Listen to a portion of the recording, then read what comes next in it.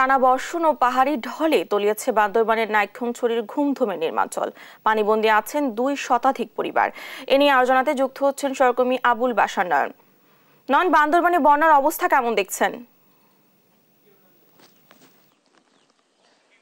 জি, আসলে বর্ষার অনেকটা শেষ সময় এসে বান্দরবানের যে প্রধান দুটি নদী সাঙ্গু এবং মাতামুহুরীর নদী এখন ভরা যৌবন ফিরে পেয়েছে। এই মুহূর্তে আমি যেখানটিতে আছি সাঙ্গু নদীর তীরবর্তী এলাকা।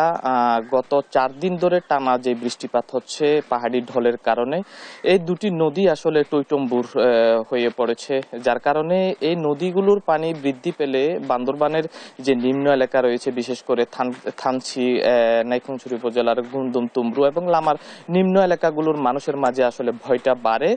ঠিক তেমনিভাবে গত চার দিন ধরে যে ভারী বৃষ্টিপাত হচ্ছে বৃষ্টিপাতের ফলে মানুষের মাঝে ভয়টা কাজ করছে কেননা গত বছর একই সময়ে আগস্টের প্রথম সপ্তাহে যে বান্দরবানে ভয়াবহ বন্যা হয়ে গেছে সে বন্যার ক্ষ- ক্ষতি আসলে মানুষ এখনও কাটিয়ে উঠতে পারেনি। কিন্তু এই বর্ষার শেষ সময় এসে চলতি বছর আহ, উপজেলার তুমরুতে অন্তত দুই শতাধিক মানুষ পানিবন্দী ছিল গতকাল।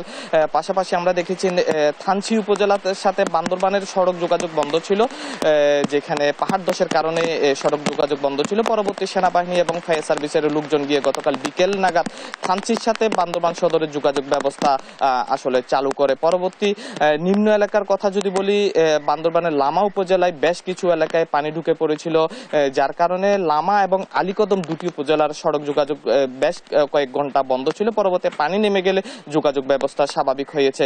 কিন্তু এখনও পর্যন্ত পানি নেমে গেলেও মানুষের ভয় কাটেনি, কেননা যে দুটি প্রধান নদী, নদীর পানি এখনও টৈটম্বুর কখন আসলে ভারী বৃষ্টিপাত হবে? বৃষ্টিপাত হলে এই নিম্ন এলাকাগুলো প্লাবিত হবে। এই ভয়টি আসলে কাজ করছে। পাশাপাশি আরেকটি বিষয় জানিয়ে রাখি, গত চার দিনে ভারী বর্ষণে বান্দরবানের বিভিন্ন উপজেলায় ছোট বড় বেশ কিছু পাহাড় ধসের ঘটনা ঘটেছে। তবে এই ঘটনায় কোনো হতাহতের ঘটনা ঘটেনি বলে জানিয়েছেন বান্দরবান জেলা প্রশাসক শাহ মুজাহিদ উদ্দিন।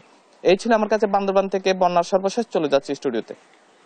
বান্দরবান থেকে বন্যা পরিস্থিতির খবর জানাচ্ছিলেন আমাদের সহকর্মী।